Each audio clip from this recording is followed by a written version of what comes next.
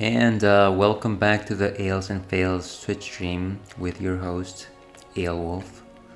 Today, another Thursday afternoon with our persistent campaign through the world of Eorzea and uh, Final Fantasy XIV as I make my way through the first few levels with an Arcanist.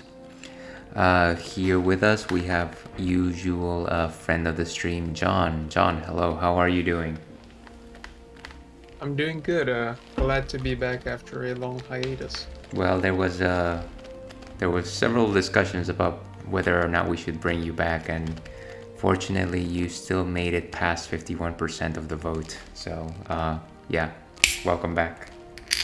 Yeah, that's good. I guess I guess the board, most of the board, or a good portion of the board wasn't having it, but uh, I guess somebody overruled the vote. That's good. I can only assume that you bribed them. So um, today, let's uh, let's do our usual thing and just talk about what we are serving at the at the bar today. I've got a velvet couch with me, which is a uh, an oatmeal stout. So the reason why that is significant is because most beers are generally made of barley. Uh, oatmeal stouts as a category are generally made with oats as their base uh, grain and so as you can see there it's a very robust dark color. Oatmeal stouts uh, uh, in terms of difference between that and other stouts are very crisp. They're very light bodied they almost have the same consistency as coca-cola. Um, and their flavor of course is very oaty. So if you have oatmeal in your breakfast it, it might give you a bit of a shock to learn that it does have some of those same notes with us uh, I found Velvet Couch during my trip to Santa Rosa, which happened very recently. If you follow my Instagram, uh, it was a brewery called uh, Shady Oak, which I quite liked. They've got a nice selection of arcade games there, very open space, and it's also got a uh, space for food trucks. So if you're ever in the area, Santa Rosa, California, I recommend you visit uh, Shady Oak. All that being said, Fang and Alekin.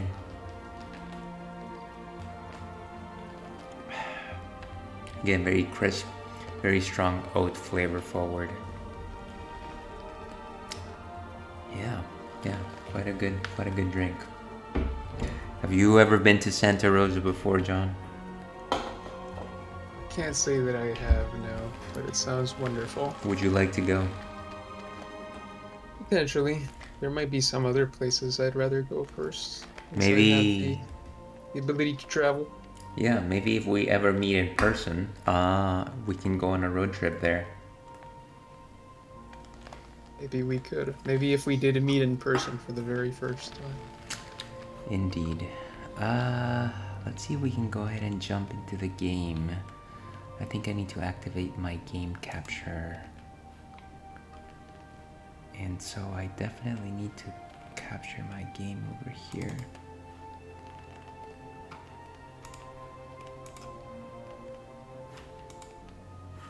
And that didn't do it.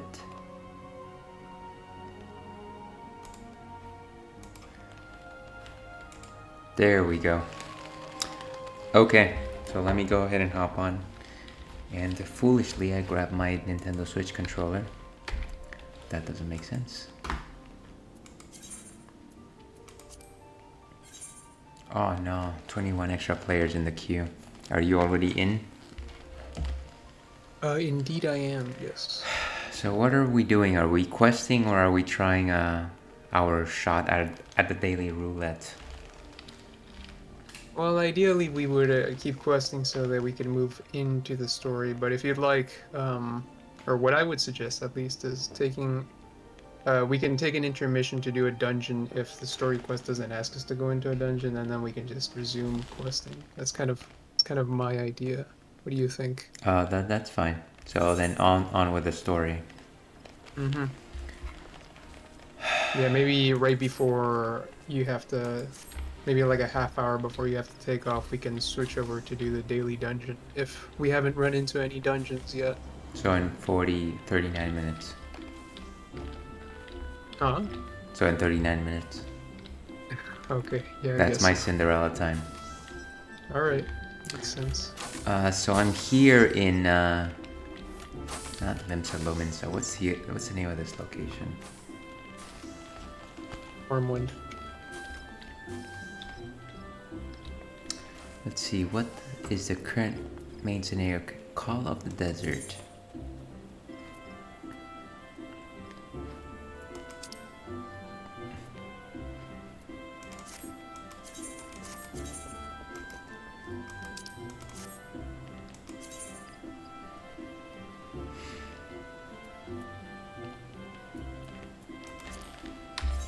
I just want to look at the quest log here. Call of the Desert, okay. According to Mio, the Adventurers Guild in Ul'dah is recruiting people for an undisclosed task. You can learn more by speaking to Mo Mobody, the proprietors of the quicksand. Okay, so I have to go to Ul'dah, it seems. Mm-hmm. Sailor Teleport.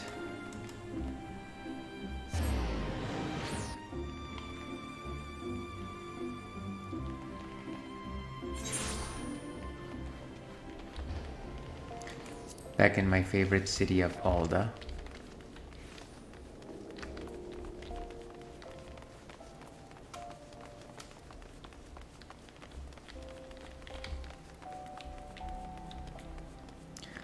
Do you not feel like the first few uh, piano strokes of the theme in Ul'dah just scream nostalgia?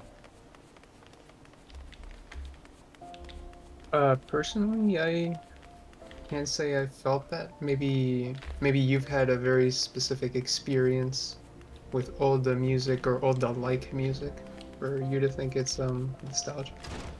That's fair. I guess it probably evokes different things in different people.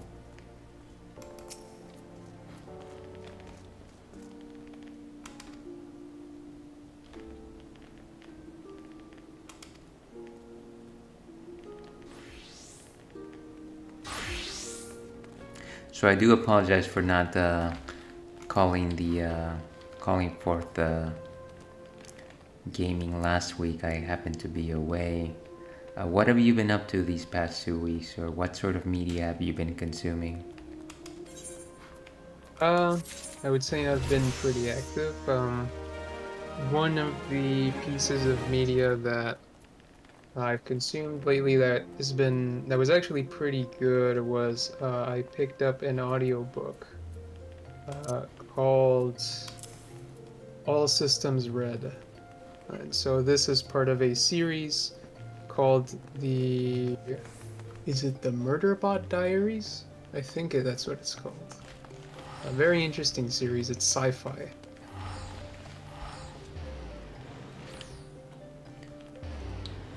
So what's uh, what is what is the theme of the story, or what, what's the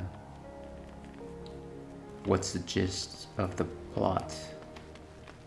Um, so I definitely suck at synopsises. So No, well, I, I'll judge you. That's fine. I think what I'm going to do is uh, I'm just going to look one up because I'm pretty sure somebody else does a better job at explaining this than I do.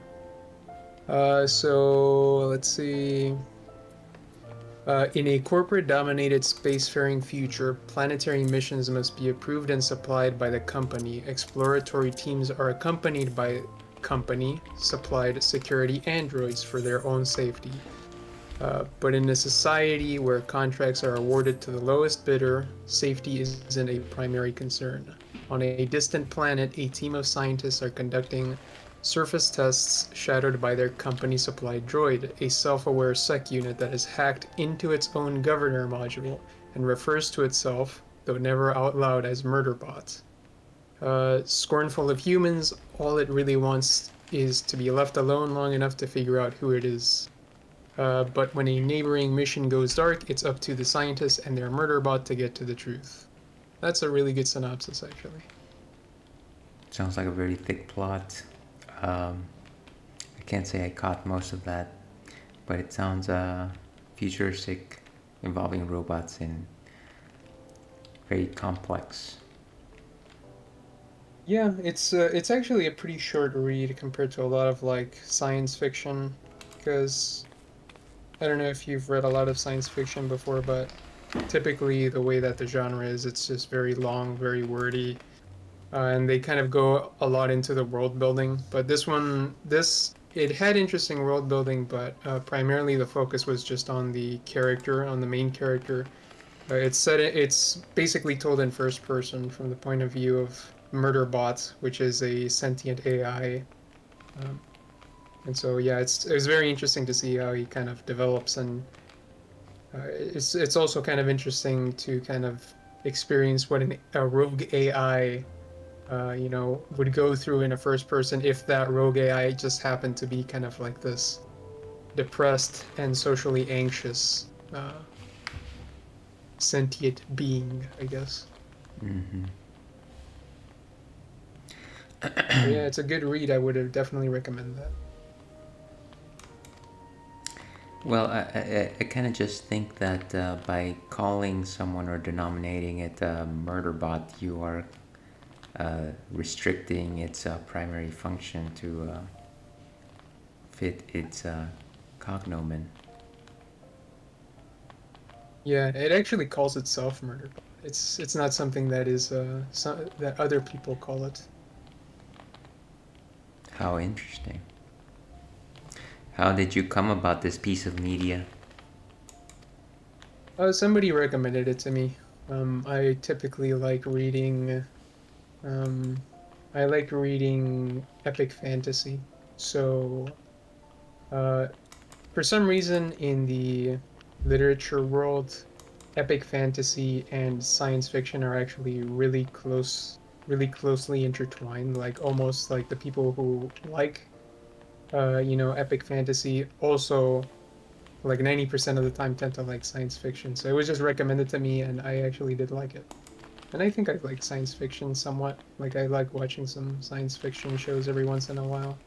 Well, this curiosity you point out, this connection between uh, fantasy and uh, science fiction was uh, the original connection was made in the first, uh, first or second Thor movie, if you don't recall, because if you recall that scene where uh, J- Jane Foster, what was her name?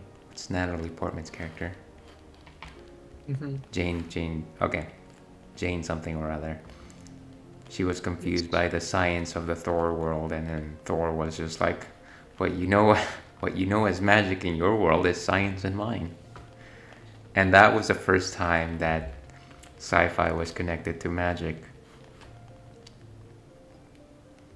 What a strange connection, but I see it. Yeah, yeah. So, so you know, there things that we don't understand we call magic, but they are actually uh, science to a to, the civilization that developed it. Okay, so I'm talking to a doctor who looks like a very young mustachioed person. I think uh, somebody once said that uh, sufficiently advanced technology is indistinguishable from magic, and I think there is some truth to that. Was it Thor? Could Thor have said that? No, it wasn't, it wasn't Thor. Okay. Was it Chris, Chris Hemsworth? Yeah, it may have been him. Okay. He was just having a cast interview, one of his other movies. He was like, "Fun fact," uh, and then he said what you said. Yes, that's exactly what happened.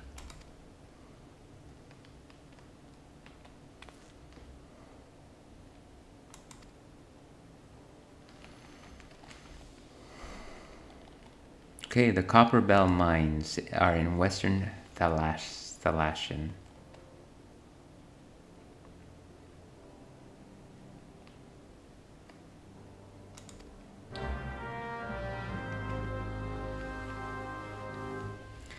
In what quest are you in? I am in Call of the Desert. Although I do also have a class quest. Okay, into a copperhead painted mesa.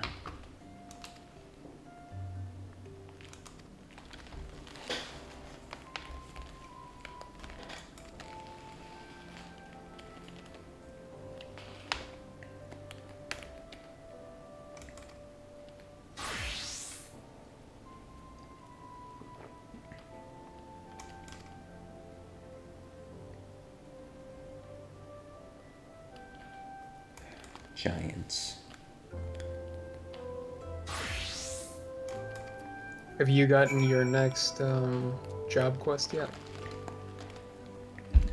Uh, I don't actually know. Uh,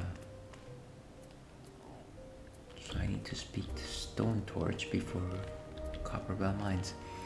Uh, I'm assuming that the next job quest is somewhere under my current main scenario quest. I believe that's how it's shown up in the past. Yes, that's correct. So I, I haven't got it. I haven't got it.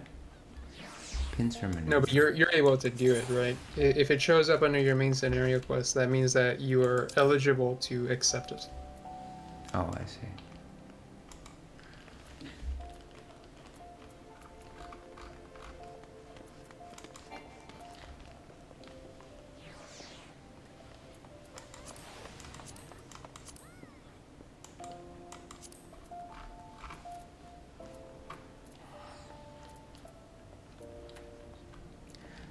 Looks like I have to go to Western Thanalan.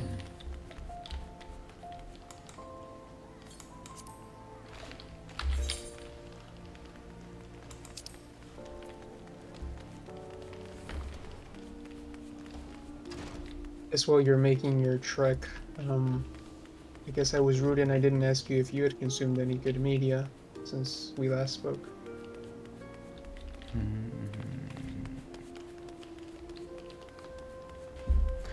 Well, I am still watching uh, that Korean show, uh, Everyone is Dead, or All of Us Are Dead.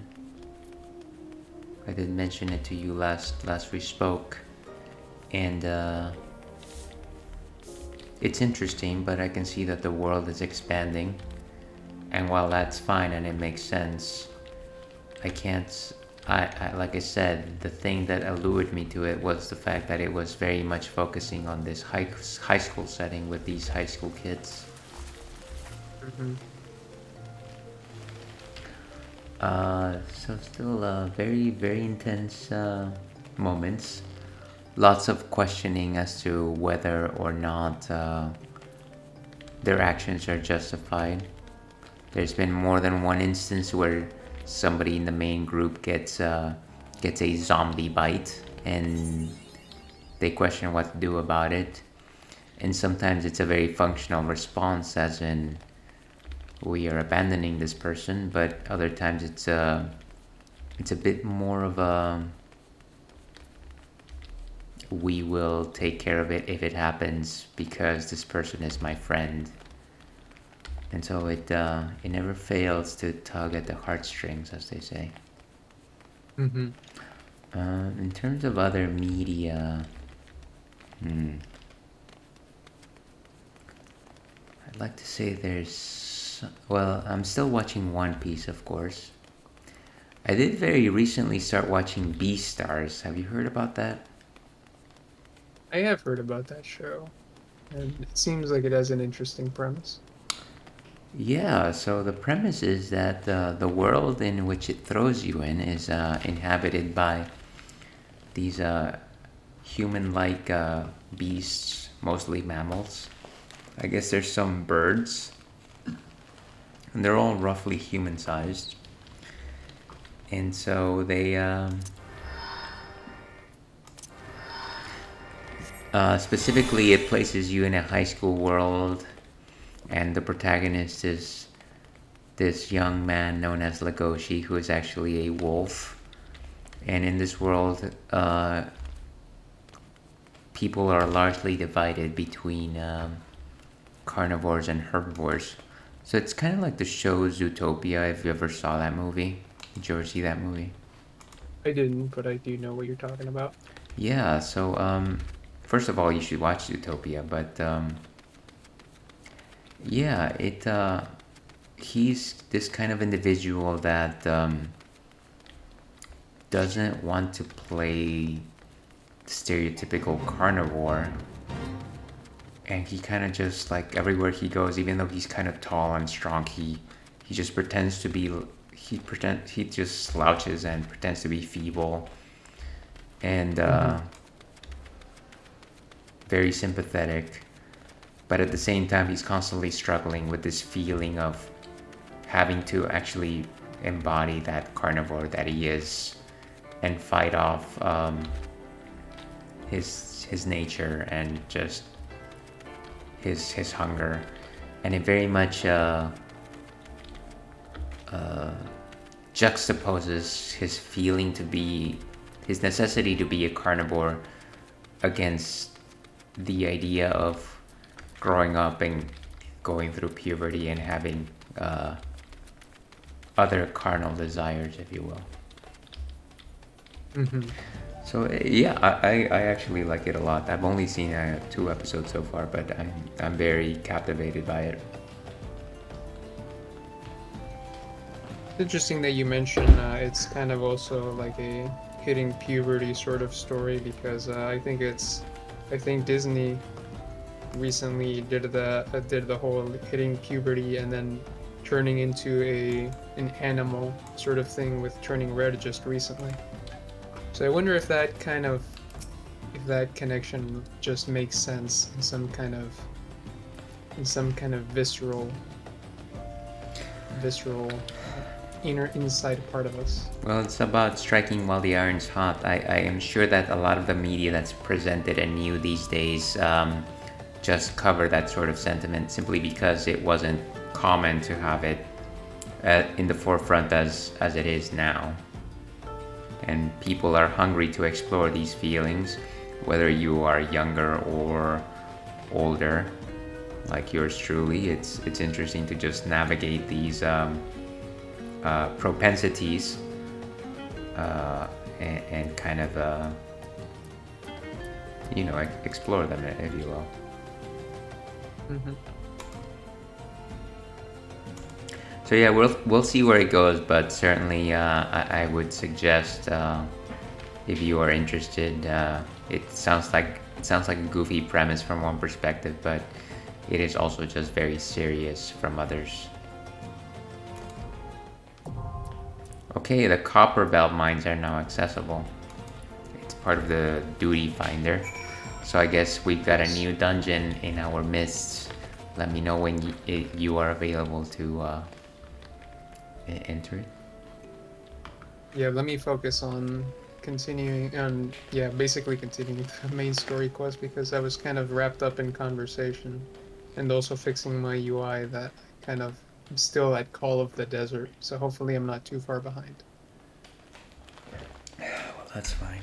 Should probably check my inventory. I'm sure I got some fancy new duds last time, but I never equipped them.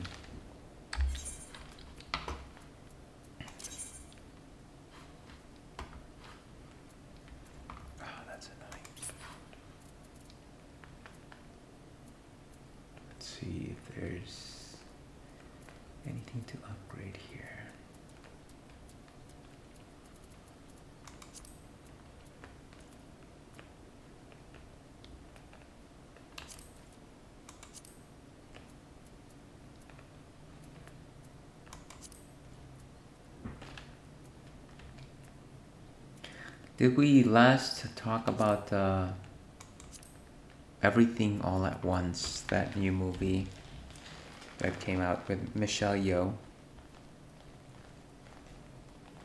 Uh, no, I don't believe we have.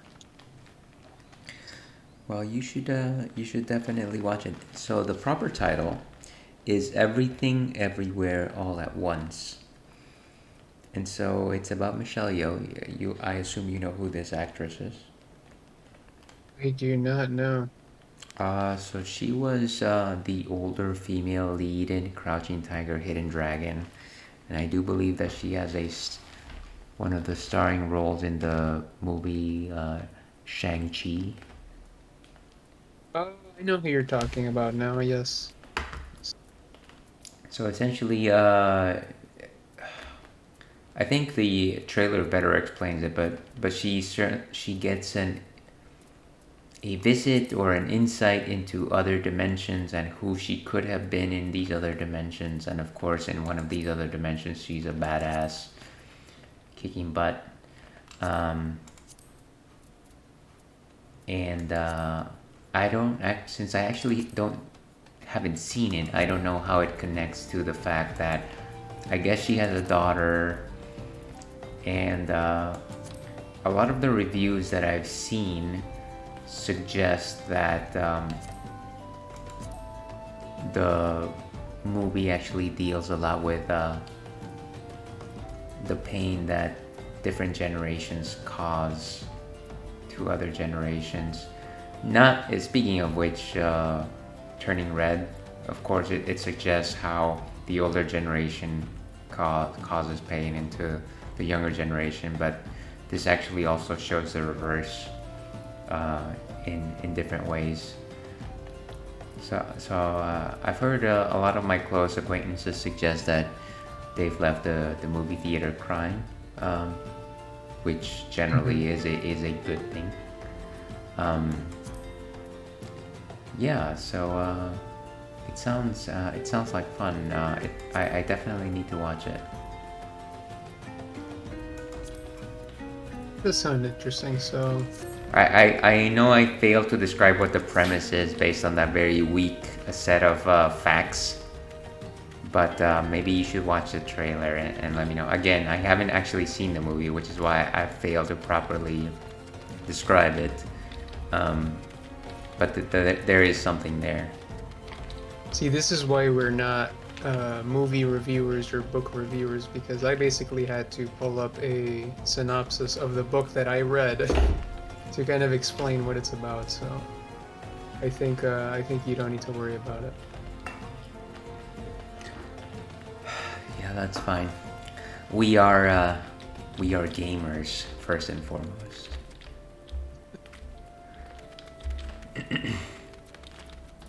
I guess I'm just going to kill rubbish until you get here.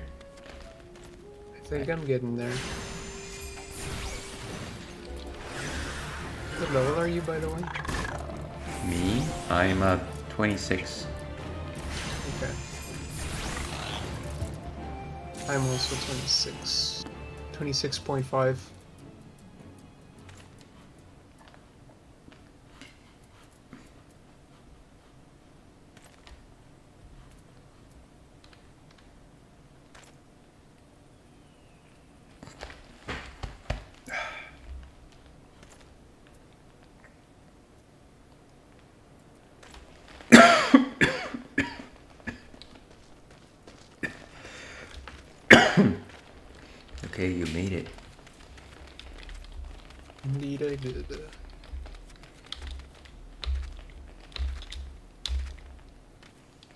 Uh, speaking of media, um, you did uh, share with uh, us uh, the newest trailer for the latest World of Warcraft expansion.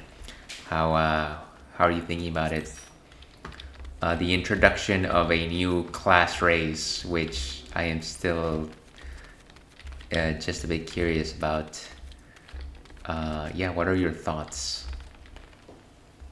Well, uh, as expected of Blizzard, the trailer was pretty phenomenal. I enjoyed how the construct was kind of left there for several years, and then he kind of wakes up and he's all sad that his other construct buddies were either destroyed or they haven't woken up.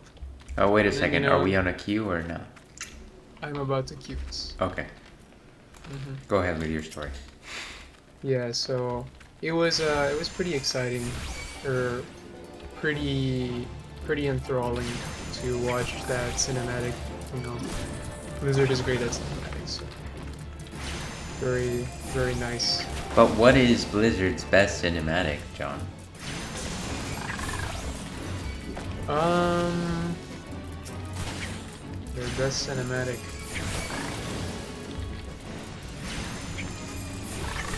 So I'm kind of defaulting to the World of Warcraft ones right now. If I had to just talk purely through nostalgia, it's probably the original World of Warcraft one, because I remember watching that one so many times. And it was just amazing. Um, I guess Wrath of the Lich King was pretty memorable. See, that's what I was waiting for you to say. Wrath of the Lich King. Is that your answer? That is my answer. Okay. We might have to get back to this because it's dungeon time. I can't Okay, do two things fine. at once. Dungeon time.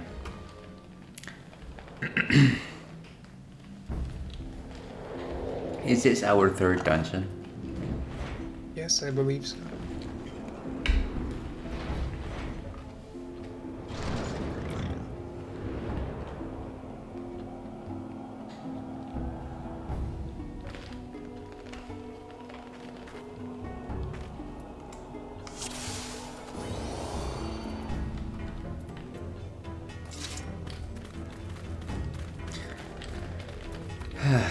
Thing I'm still a damage dealer.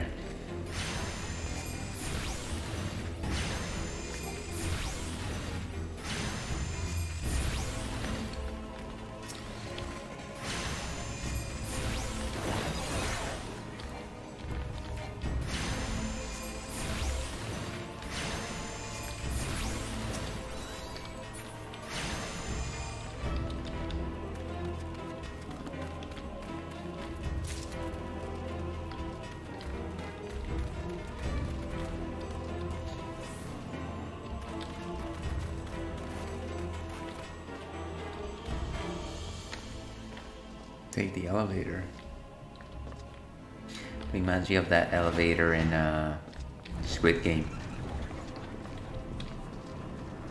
The elevator reminds you of the elevator in Squid Game. Yeah. Now this is how you win tug of war. Did you uh, did you by any chance watch that uh, Mr. Beast Squid Game thing? No, what what is that? Do you know who Mr. Beast is? No, I don't. I thought I almost thought you said Mr. Bean. Yeah, Mr. Beast is uh, this YouTube content creator, pretty popular, and apparently he did a Squid Game recreation with a bunch of like actors. Oh wait, I heard about that. I didn't see it, but I heard about that. Yeah, I can't say I saw it either. Did did he actually go into the uh, elevator thing? Did he focus on the elevator at all? I don't know. I didn't see it, but a lot of people had. It was just it just had a lot of buzz. So I was kind of wondering if you had watched it and maybe you could give me a synopsis of what happened. No, but maybe we should look that up before. Uh, maybe for next time. Yeah, potentially.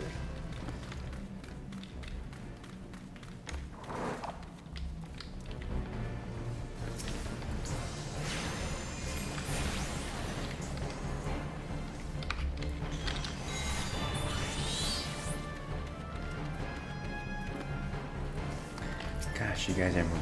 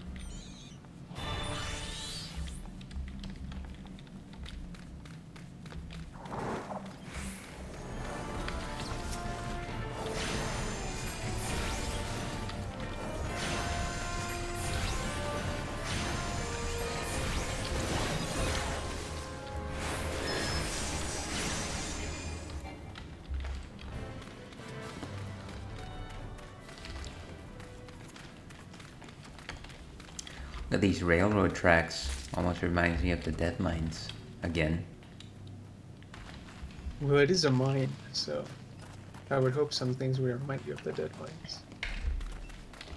What is this? I don't know, that guy's running away. Maybe he's afraid. What are we supposed to do here? What I'm asking.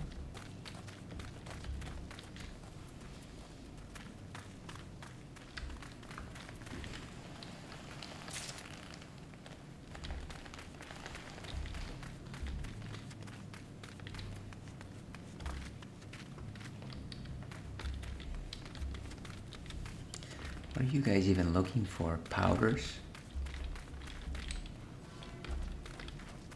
Yeah, I was looking for a fire sand interactable. There we go. That's the boss.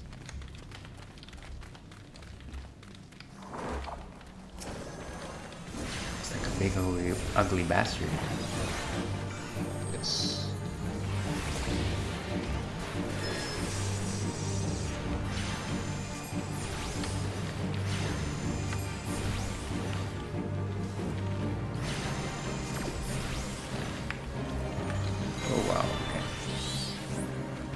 This area of effect?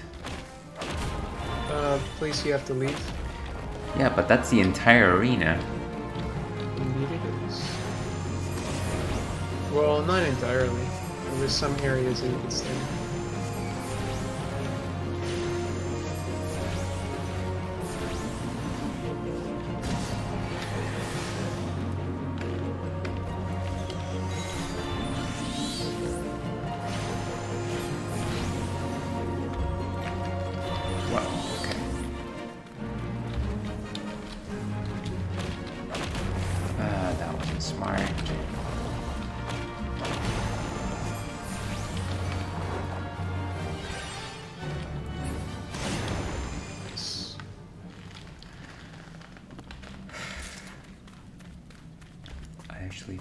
danger a couple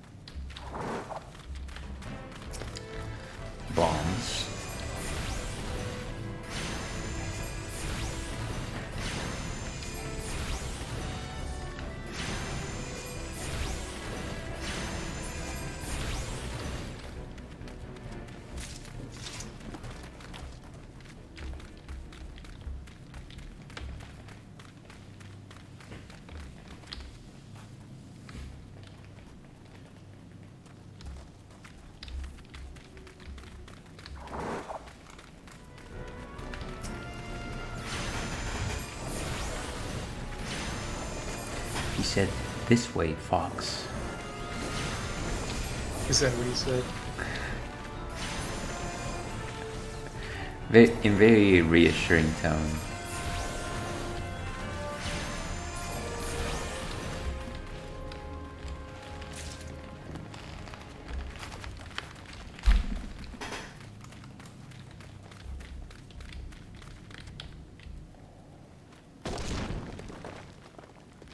Shaft E1 is now clear.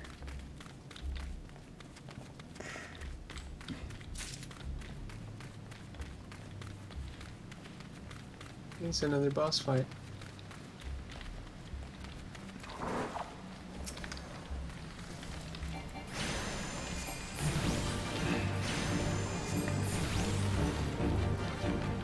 It's a Camp Jelly Jam Jelly. And Jelly Jam.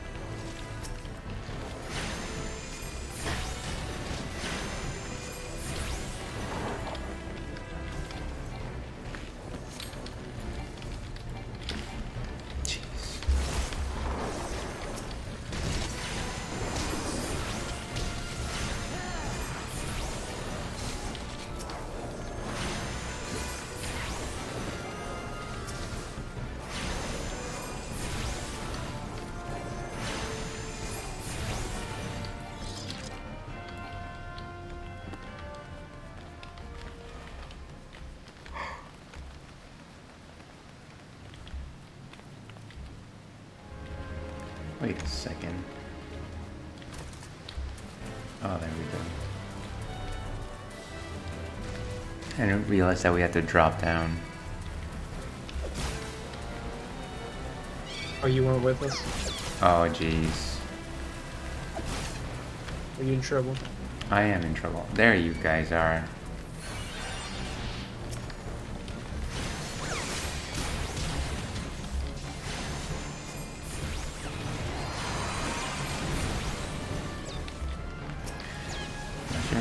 Apologize for the extra ads here.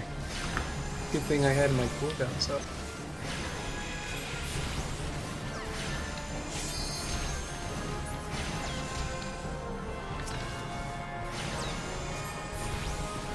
Everybody's gonna think you're a griefer.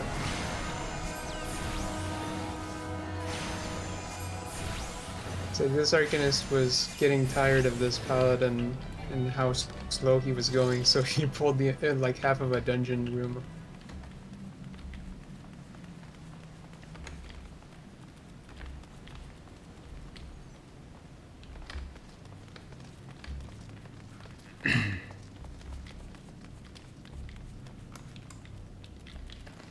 See?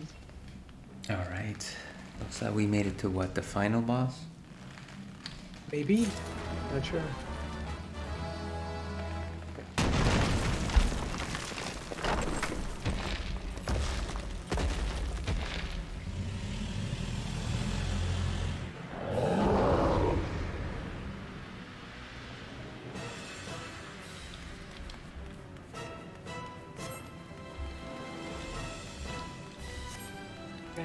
Like a classic uh, Final Fantasy Iron Giant.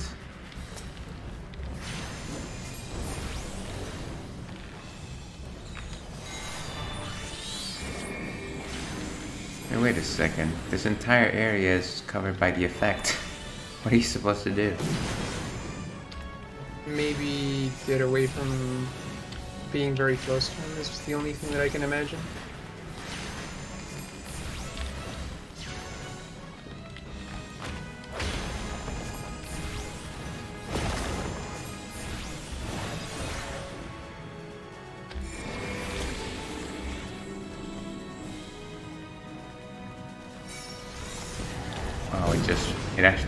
Pulled me towards him. Yeah, I took less damage when I was further away. Oh,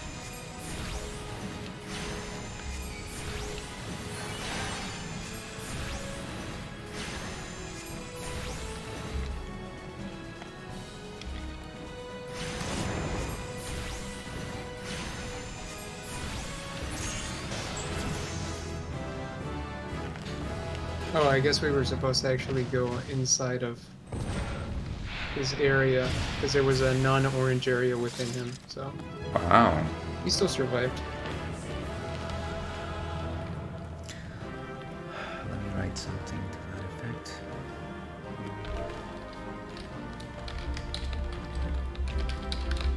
Oh, they left already. Oh, ah. well. I wanted to thank them for their efforts. Well, I'm sure that in their hearts they know that we meant well. Well, you did put like five mobs on top of me in addition, so Y- I think yeah. they knew I didn't have any ill will, but perhaps they doubted you. Well, so it goes. So it goes. Right, I think it's time to go back to Ul'dah.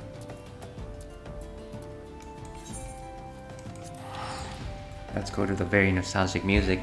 So yes, uh, the World of Warcraft uh, trailer. Um. Hmm.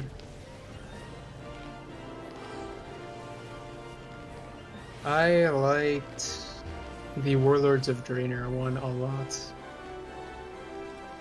I thought it was really enjoyable. I can't. Re- what what exactly happened in that one again? Was it the one where for some reason they decided to kill off the Lich King, which I didn't like?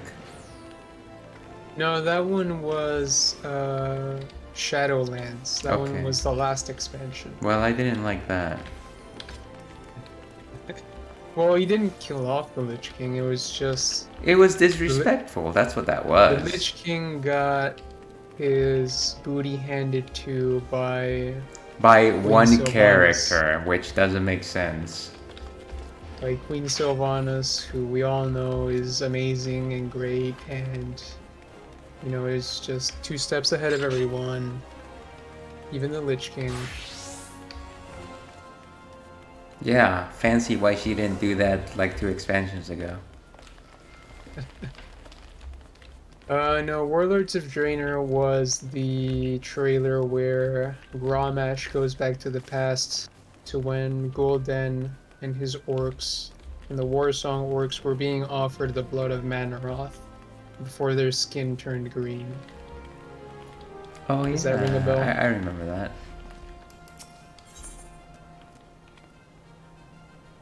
Double sync. Wait, so we have to Oh. go back into the same dungeon? No, we have to leave the party and then we can do the level sync. The level sync is just to do like a little instance by yourself. I guess they're gonna they're gonna have us do a little combat or something. So then just proceed. Yes.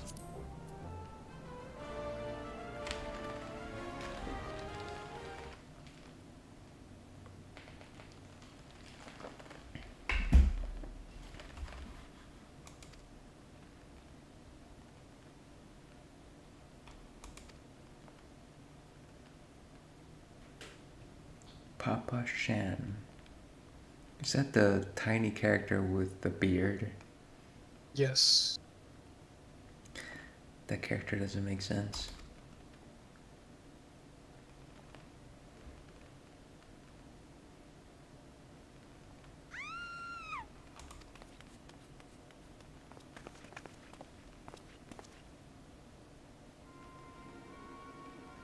Oh no, the obnoxious merchant.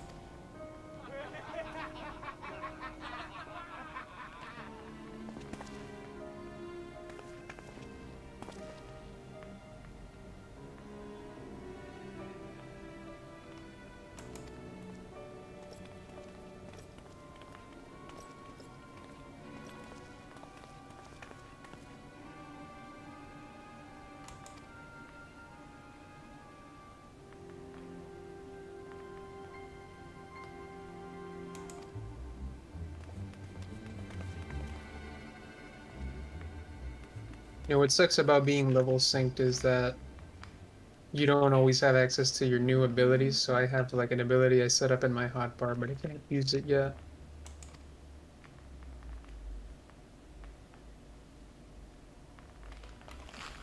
Well, maybe you should, you should rely on the base skills, uh, John.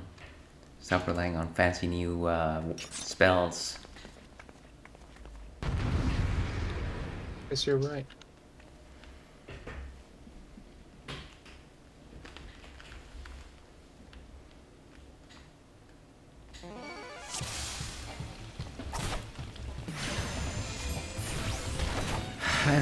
Understand how you're supposed to tackle these uh, large crowds with a caster. I'm Sure, you have some AoE spell at this point. Sure, those that can be deployed when I'm close to them.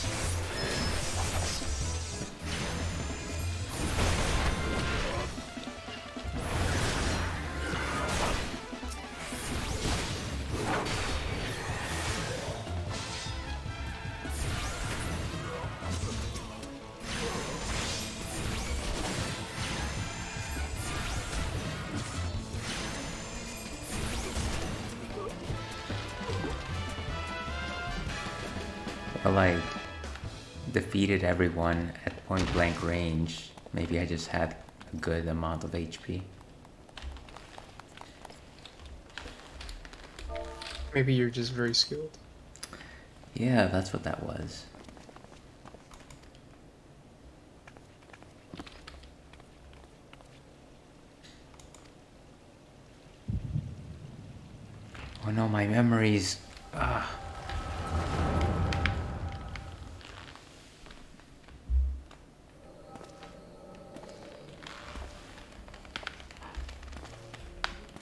Memories by Kid Cudi.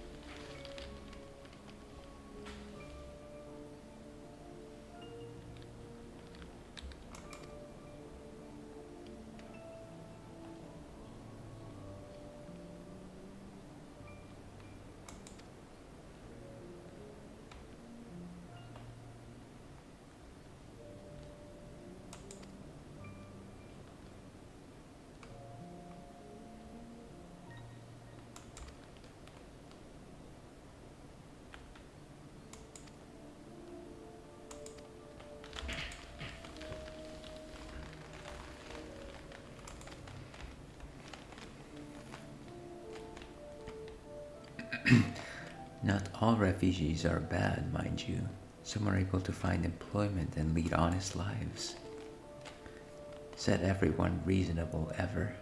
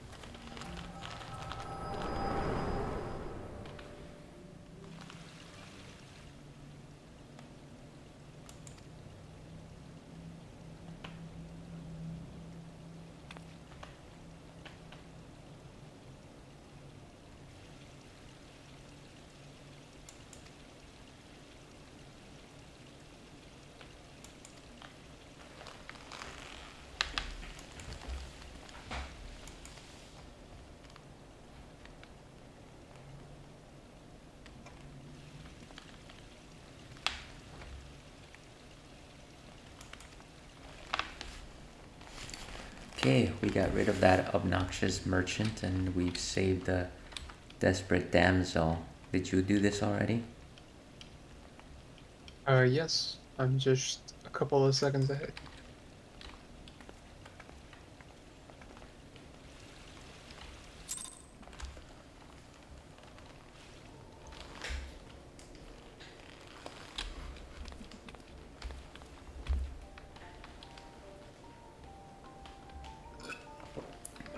My god, who is this question, question, question? Ah, of course. The Ayatollah.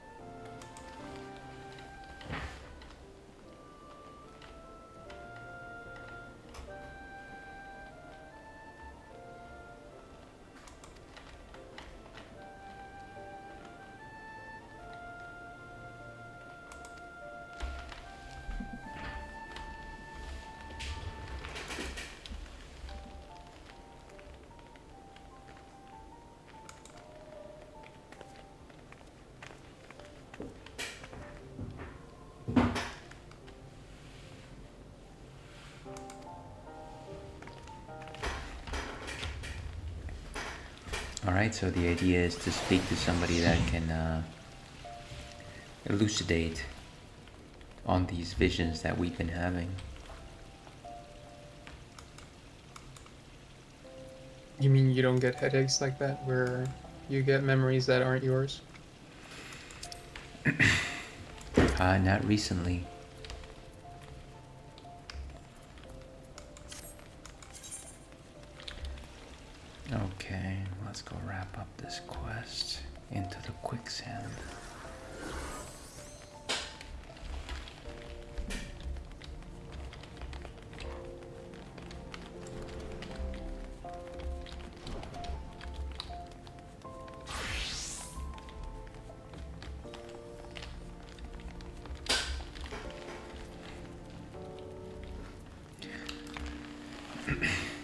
Yeah, so uh, going back to that Blizzard uh, trailer, while I like the idea, the premise behind it all, I can't say that I'm a fan of having this uh, dragon-like class be tied to one single. Uh, oh, sorry, one, this dragon race tried to tied to one class. Seems a little unusual.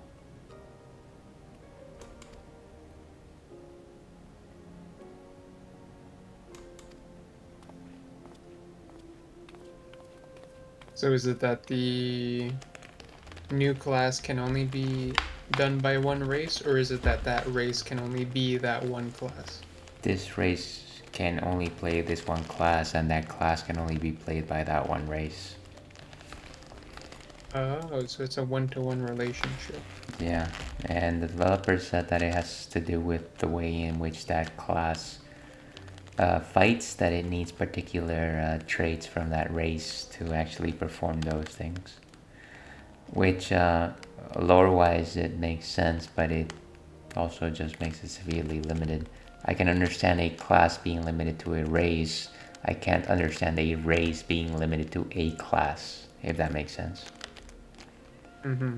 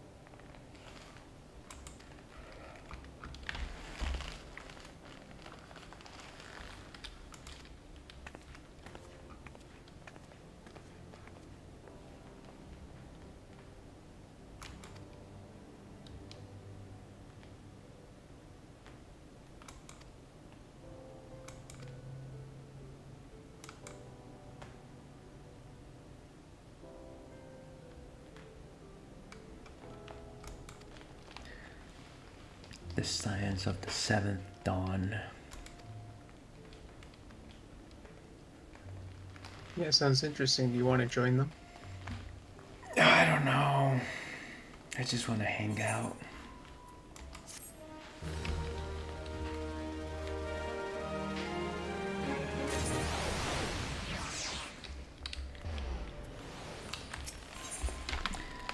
Okay.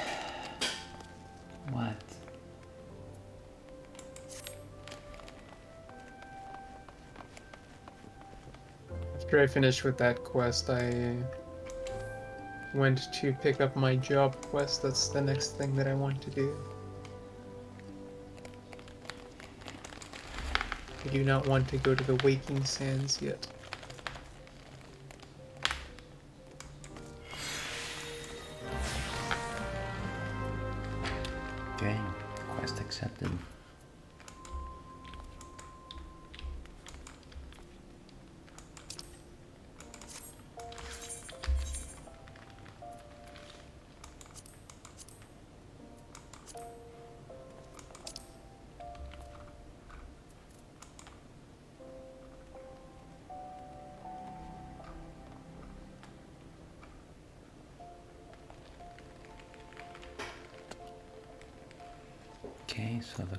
The closest.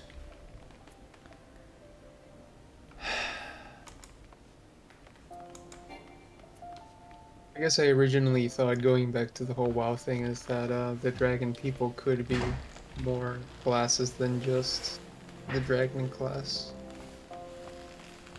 Yeah. But whatever. I guess we'll see how it pans out. I also just don't like the uh, morphology of this dragon class. Fair enough. I mean, you've the way, seen. did you? Go ahead. I was simply going to ask you, since you are a Dungeons and Dragons player, if you've seen the uh, the body shapes for Dragonborn, which is what I wish this would have been. They're hardier, more uh, stronger looking uh, fellows. They don't look like snake-like humans with long necks. Well, it would have certainly been interesting if they included more than one body shape to the dragon, the dragon peoples, because I know that.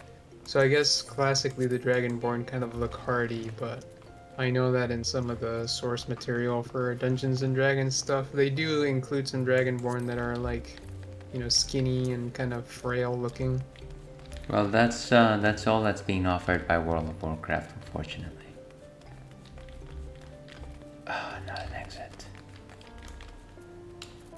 Kind of an interesting factoid about Dungeons and Dragons that, uh, since I'm up to date on Dungeons and Dragons stuff, um, they actually acquired a platform that was called D&D Beyond, which is a digital platform for, you know, having online, online, online rule books. Uh, you can also have like your character sheet on there and it's very easy to like import different options into the character sheet uh, so uh, it's kind of interesting that uh, Dungeons and Dragons is kind of shifting more towards digital stuff and it's kind of good because um, I have a couple of books that I'm interested in actually purchasing from them because I do want to support them but uh, that I was kind of hesitant to buy because I just don't want to have more books in my house.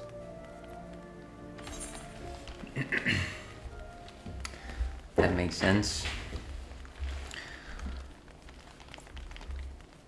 There is something to be said about the the feeling of uh, physical books, physical media, but uh, largely these days it is more about collector's items that uh, make the cut for me. Everything else can simply be a digital PDF. Mm-hmm.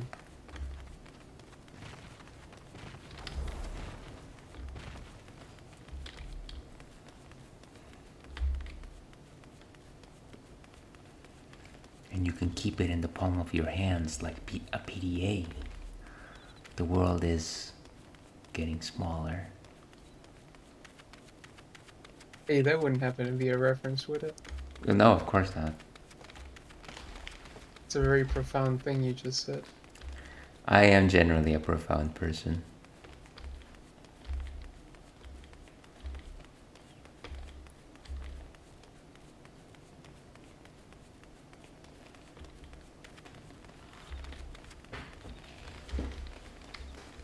By the way, did you have a favorite uh, World of Warcraft cinematic? You said Wrath of the Lich King, right? Yeah, Wrath of the Lich King. I mean, there's. It is absolutely perfect.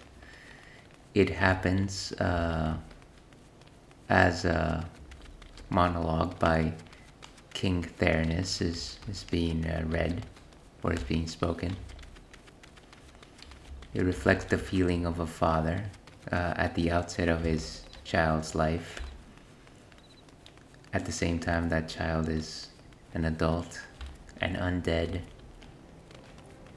doing very similar work to what he's speaking of, but very much opposing the uh, sentiment of those uh, of that advice.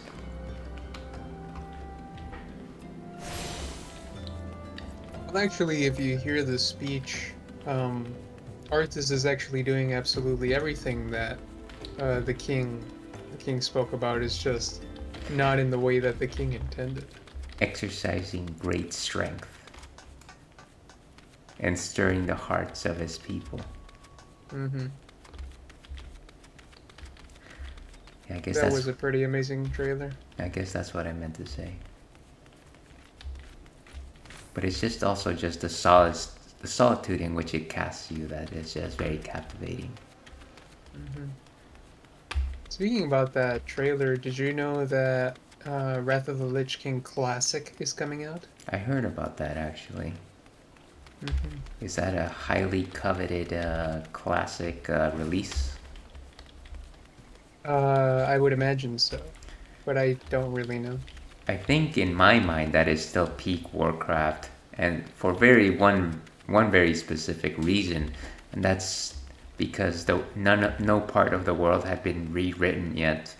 Because once you get into Cataclysm, you do just rewrite some parts of the old world, hmm which, Yeah, it- which means you can never go back. It's funny you mention that because um, some people are speculating that after Wrath of the Lich King Classic, there's definitely not going to be Cataclysm Classic. Cataclasic. Yeah. Oh, we have a visitor in the chat. Welcome, New the Great. How are you doing? Were you captivated by, by our World of Warcraft conversation?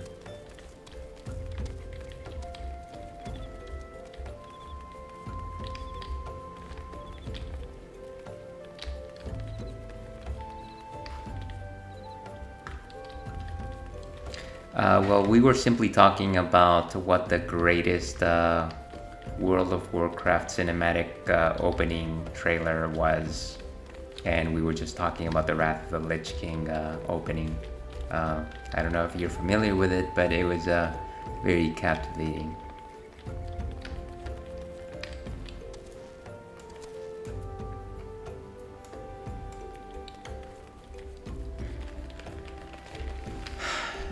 Okay, so I just made it to uh, Vesper Bay. And uh, level 17, the Scions of the Seventh Dawn. I believe this is close to where I ended with my original first run of this uh, game. Tataru. Well, you said your character was like level 30 something, right? Well, maybe I went a bit farther ahead, but I do remember meeting the Scions of the Scions um, Mm-hmm. as one of my last great achievements during that gameplay um, run run through. I see.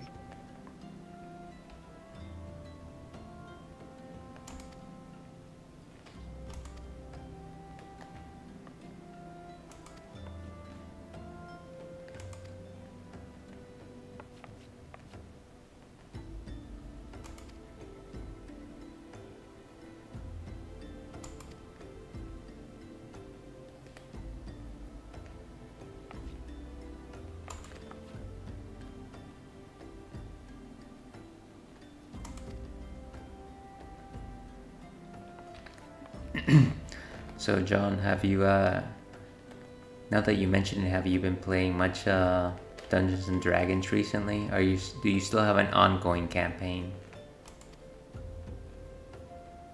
My my group has taken a hiatus because um we the party unexpectedly died the last time that we played. So that's unfortunate. Why why did that come about? Was it Capris from the Dungeon Master? Capris? Who's Cappers? Was it just their desire to wipe you all? Oh, I see. Um, well, the reason why it happened... Actually, wait, wait a second.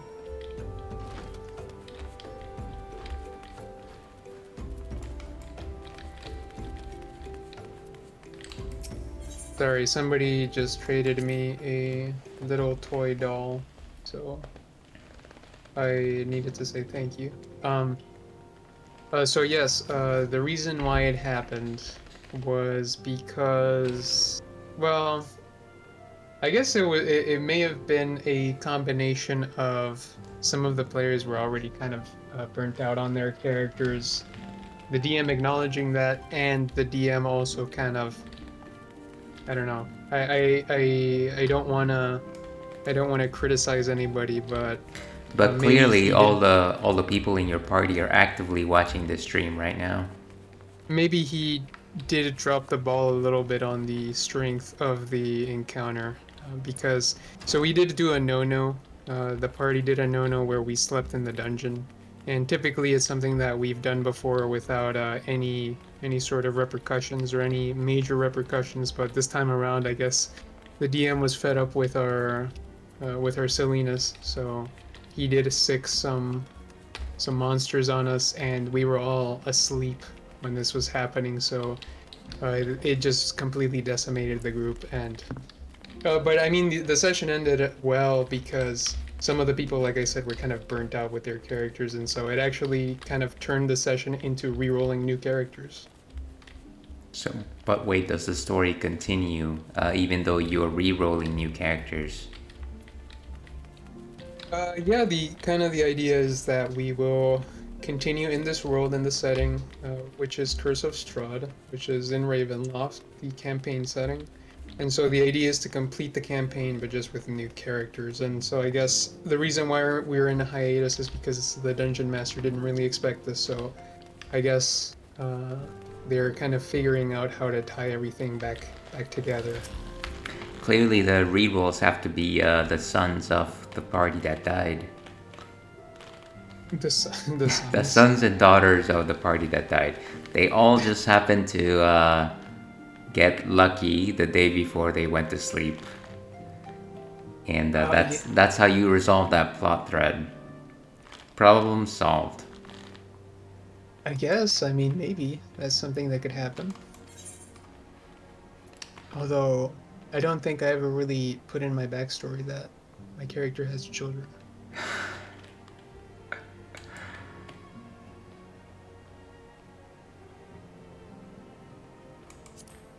go with that.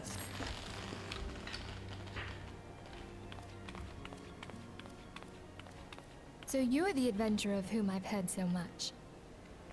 Alright, so now we're meeting the Scions. My name is Minfilia, and I lead the Scions of the Seventh Dawn. I have awaited your coming.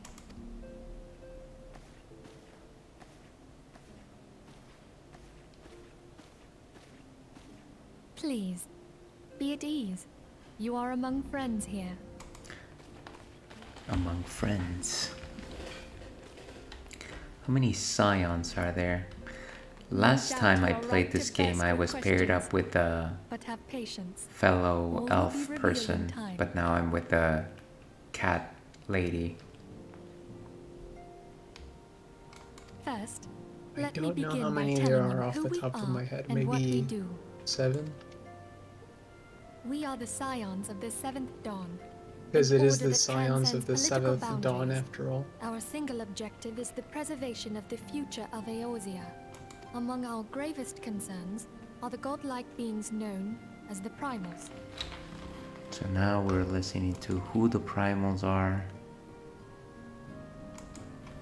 Their existence is a bane upon Eorzea. Nay, the world at large. And we have striven to find a lasting solution to the threat they pose. Our world is home to a number of individuals who, like you, possess a rare and special talent. This talent takes various forms, but one holds particular interest for us. Tell me, have you ever experienced a sudden, inexplicable loss of consciousness? Have you ever experienced a sudden, inexplicable loss of Have you consciousness? ever had the sensation Sounds of like uh, a, from reality? an ad for over-the-counter as though you were medicine. hovering in space, a mind without a body? Yeah, it does. All these things are the manifestations of your talent. Yours is the power to transcend the boundaries of the soul. A power known as the Echo. The Echo allows you to pass through the walls of a man's soul and hear the resonations of his past. You will be there in his memories and see things as he saw them.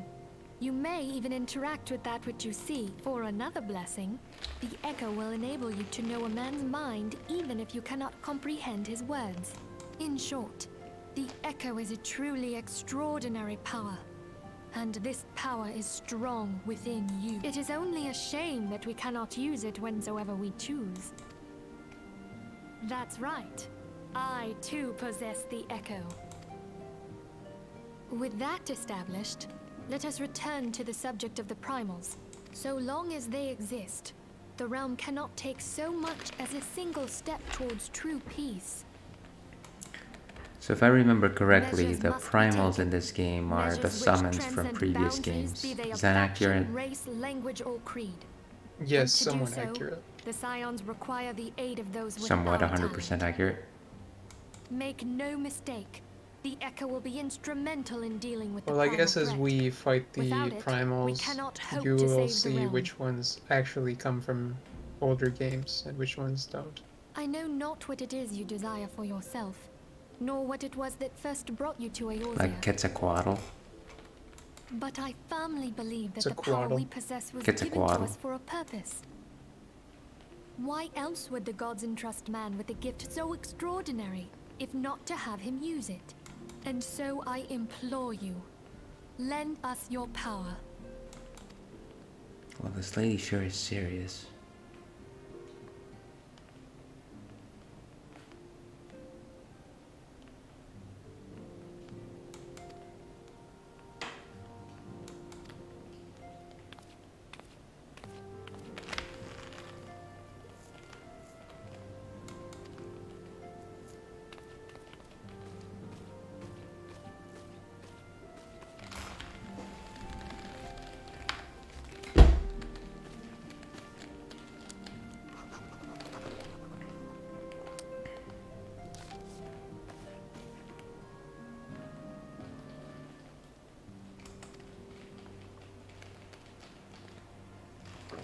This person helping Minfilia is called the Taru.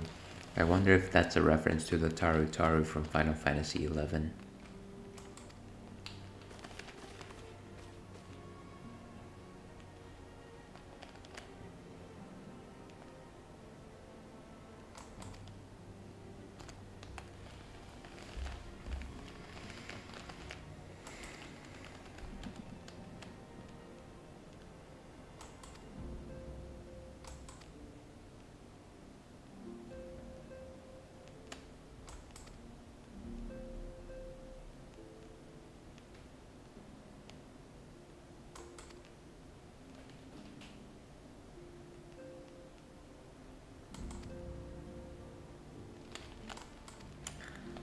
Password is Wild Rose. Pass it on. Hey, if it's a password, that should be secret. Shouldn't be sharing it with everybody. Okay, let me delete this uh, stream.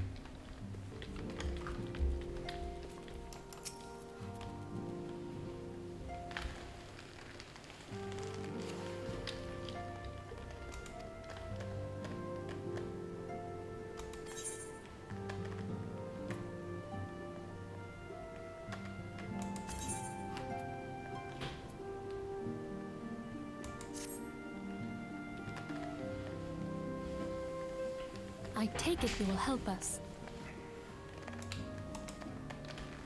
Wonderful! I knew you wouldn't let us down.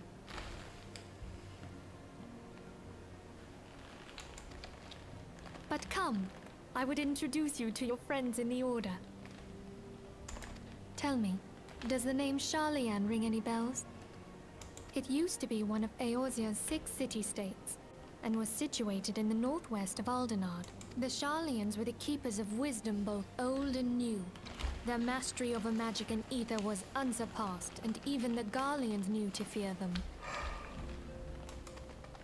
Among their number, there were a noble few who devoted their lives to safeguarding the future of Eorzea. When the realm began its descent into chaos, and their countrymen fled for the motherland, they alone chose to remain here. These noble men and women were called the Archons. The Those same brave souls stand before you now. The masked woman is Yda, and beside her is Papalymo. The two are charged with surveying the Twelves Twelveswood. Hello there. Welcome! Okay, my turn to introduce someone. That there is Thancred. Thancred, that's the name of the He man. is our man here in Ul'dah, Jewel of the Desert. Welcome to the team. If I may, the lovely maiden beside me is named Y'shtola.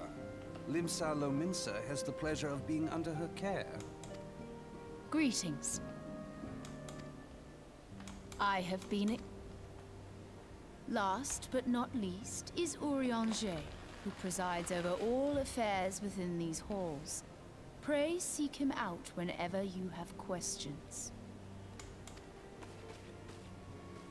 Dawn may banish even the darkest night. The words of a dear friend. I'm glad of our meeting. At the Battle of Carteneau, our leader was taken from us. But we did not stray from our purpose. We sought out Minfilia and others with her talent, and together established the Scions of the Seventh Dawn. Along with the Archons, those blessed with the Echo play a pivotal role in our endeavor to forge a brighter tomorrow for the realm.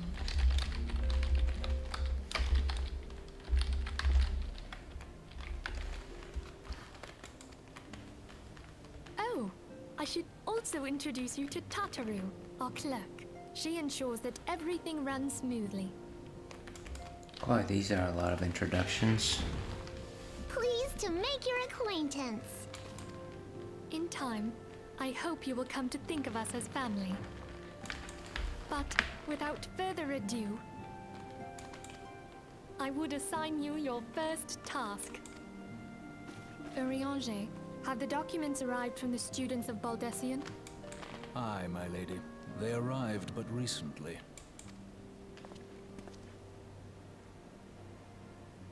We have received a request for aid from the Immortal Flames. Thancred, would you do the honors? It would be my pleasure. Some days ago, a crystal caravan registered to Amajina and Sons Mineral Concern was waylaid and divested of its cargo. But there is more. Within a bell of the robbery, several people were reported missing from the shantytown outside the city. At a glance, one would assume the involvement of bandits, kidnappers, and coincidence. Such crimes are hardly uncommon, and the Immortal Flames deal with their like almost every day. However, this time we have reason to believe that a primal is involved. Aye, the evidence left behind implicates the Amalj'aa, who are known worshippers of Ifrit. Ah, worshippers of Ifrit. If we then consider the objects that were taken, there is no room left for doubt. The crimes were committed in the name of a primal. That you may better understand the nature of our struggle with the primals, I would have you play the leading role in this investigation. You have my thanks. If there is aught you wish to know, I recommend you speak with Thancred. He is well versed in the affairs of Ul'dah. Ever at your service, dear fellow.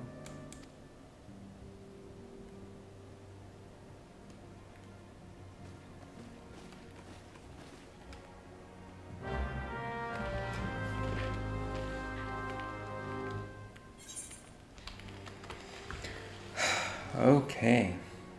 Well, that was a very long uh, discussion. Did you get through it?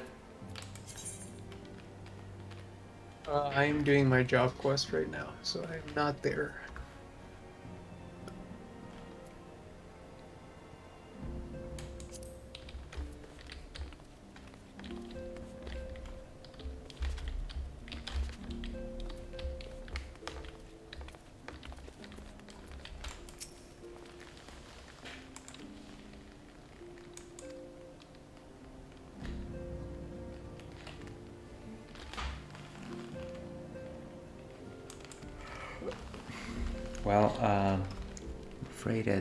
Probably closing time for me. Mm-hmm. Let me just finish this conversation with Pancreas. Pancreas.